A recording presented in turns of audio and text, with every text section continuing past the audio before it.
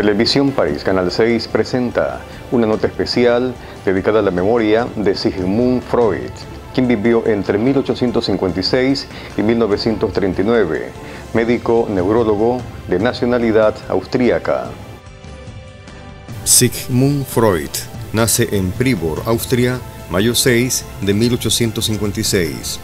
Fallece en Londres, Inglaterra, septiembre 23 de 1939.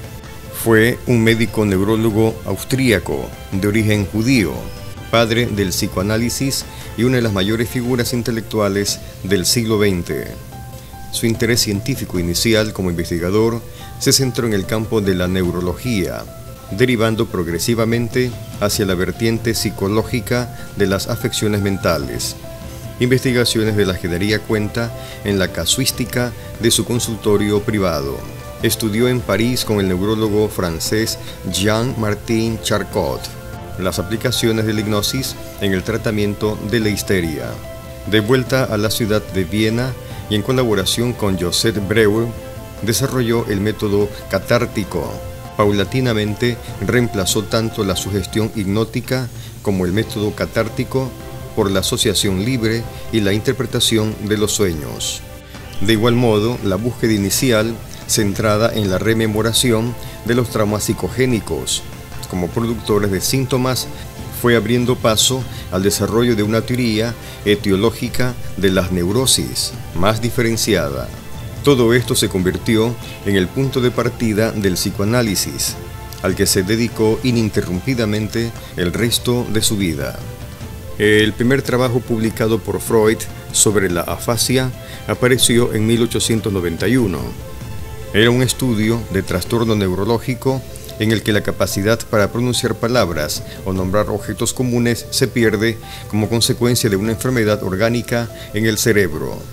Freud postuló la existencia de una sexualidad infantil perversa poliforma, tesis que causó una intensa polémica en la sociedad puritana de la Viena de principios del siglo XX y por la cual fue acusado de pansexualista a pesar de la hostilidad que tuvo que afrontar en sus revolucionarias teorías e hipótesis, Freud acabaría por convertirse en una de las figuras más influyentes del siglo XX.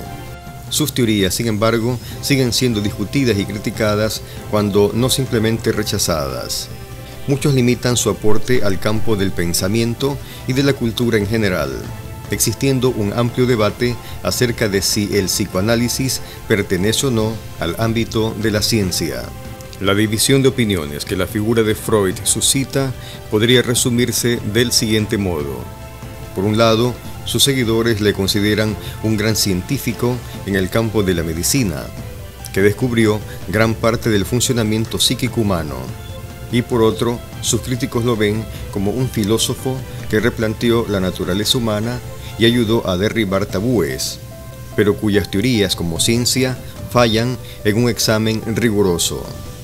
En agosto 28 de 1930, Freud fue galardonado con el Premio Goethe de la ciudad de Frankfurt del Meno por su actividad creativa. También en honor de Freud, al que frecuentemente se le denomina el padre del psicoanálisis, se dio el nombre Freud a un pequeño cráter de impacto lunar que se encuentra en una meseta dentro del Oceanus Procellarum, en la parte noroccidental del lado visible de la Luna. Sigmund Freud, otro trotamundo más de nuestro maravilloso planeta, quien, con sus investigaciones en la neurología, ofreció importantes aportaciones para comprender en mejor dimensión el psicoanálisis del ser humano.